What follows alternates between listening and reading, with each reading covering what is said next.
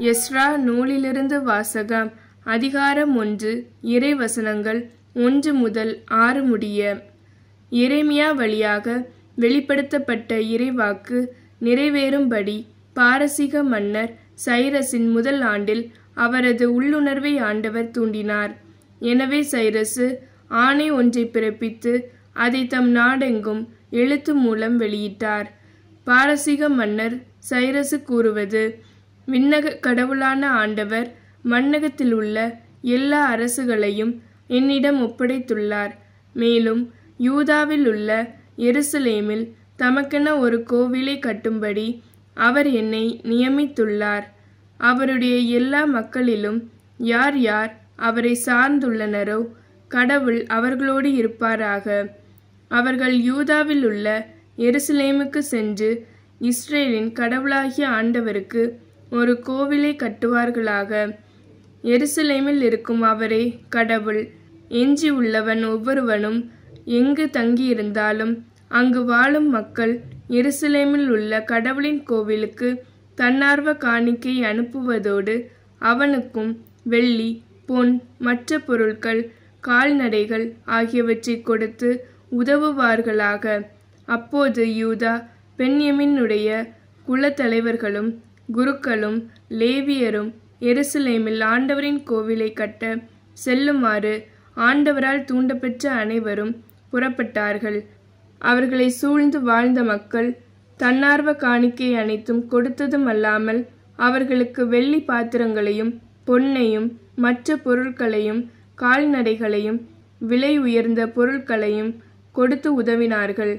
இது ஆண்டவர் வழங்கும் அருள்வாக்கு. இறைவா உமக்கு நன்றி.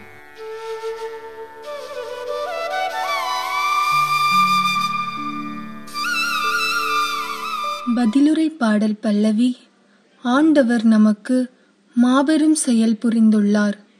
ஆண்டவர் நமக்கு மாபெரும் செயல் புரிந்துள்ளார். சீயோனின் அடிமை நிலையை ஆண்டவர் மாற்றினபோது நாம் ஏதோ கனவு கண்டவர் போல இருந்தோம். அப்பொழுது நமது முகத்தில் மகிழ்ச்சி காணப்பட்டது. நாவில் களிப்பாரவாரம் எழுந்தது. பல்லவி ஆண்டவர் நமக்கு மாபெரும் செயல் புரிந்துள்ளார். ஆண்டவர் அவர்களுக்கு மாபெரும் செயல் புரிந்தார் என்று பிற இனத்தார் தங்களுக்குள் பேசிக்கொண்டனர். ஆண்டவர் நமக்கு மாபெரும் செயல் புரிந்துள்ளார். அதனால் நாம் பெரும் மகிழ்ச்சியுறுகின்றோம். பல்லவி ஆண்டவர் நமக்கு மாபெரும் செயல் புரிந்துள்ளார். ஆண்டவரே தென்னாட்டின் வறண்ட ஓடையை நீரோடையாக வான்மழை மாற்றுவது போல எங்கள் அடிமை நிலையை மாற்றியருளும். கண்ணீரோடு விதைப்பவர்கள் அக்களிப்போடு அறுவடை செய்வார்கள். பல்லவி ஆண்டவர் நமக்கு மாபெரும் செயல் புரிந்துள்ளார். விதை எடுத்து செல்லும்போது செல்லும்போது அழுகையோடு செல்கின்றார்கள். அரிகளை சுமந்து வரும்போது வரும்போது அக்களிப்போடு வருவார்கள். பல்லவி ஆண்டவர் நமக்கு மாபெரும் செயல் புரிந்துள்ளார். அல்லி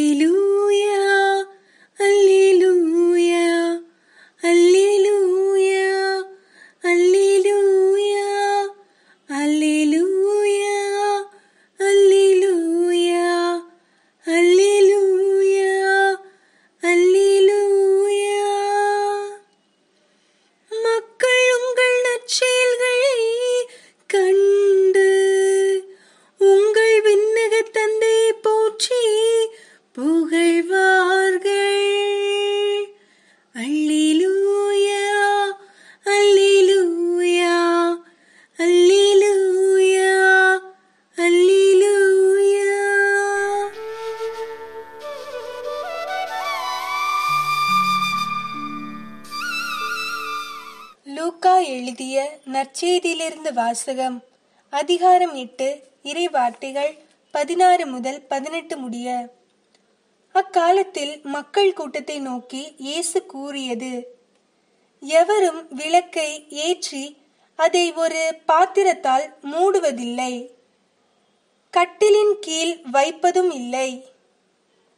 மாறாக உள்ளே வருவோருக்கு ஒளி கிடைக்கும்படி அதை விளக்கு தண்டின் மீது வைப்பர். வெளிப்படாது மறைந்திருப்பது ஒன்றுமில்லை.